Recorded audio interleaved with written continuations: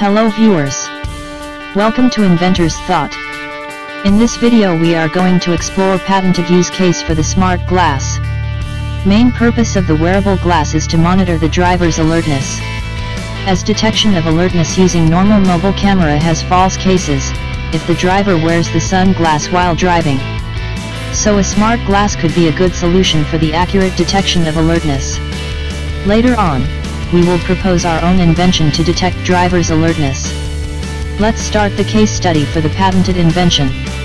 Smart glass described here, not only take care of alertness, but also inform about environment around the vehicle.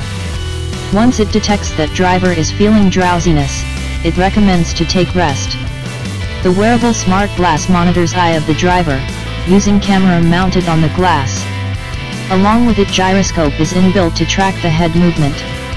In combination with image captured for the eye and head movement, detection for the sign of drowsiness is measured.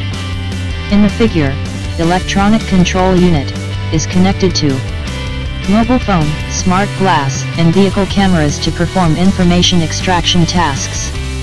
Heads-up display module, provide information about the driver's state, path during maneuvering and nearby object detections. It can also show information such as 1. Current speed and its limit 2. Oil life, tire pressure, engine diagnostic and trip informations 3. Presence of the object captured from the outer camera, for capturing the side door views.